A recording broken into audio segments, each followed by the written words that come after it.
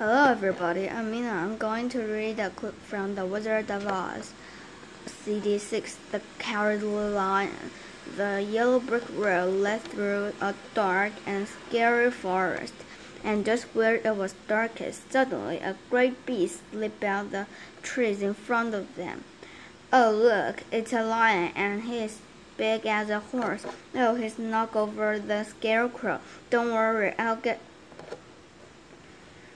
don't you dare bite Toto. You ought to be ashamed of yourself. A big beast like you biting a poor little dog.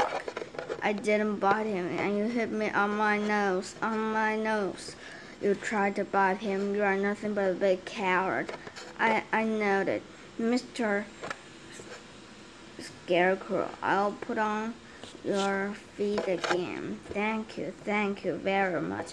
There you are, Tin Woodman, back on your feet. Oh, thank you, thank you.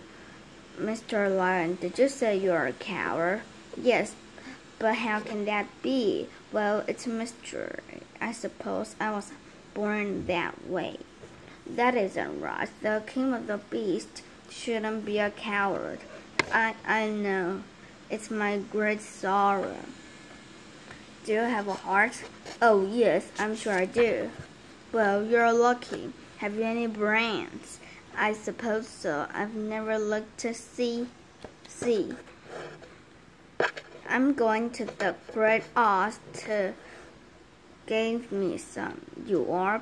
But do you think the Great Oz could give me courage?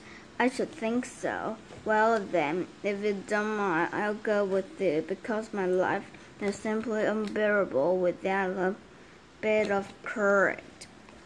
Thank you for watching, child.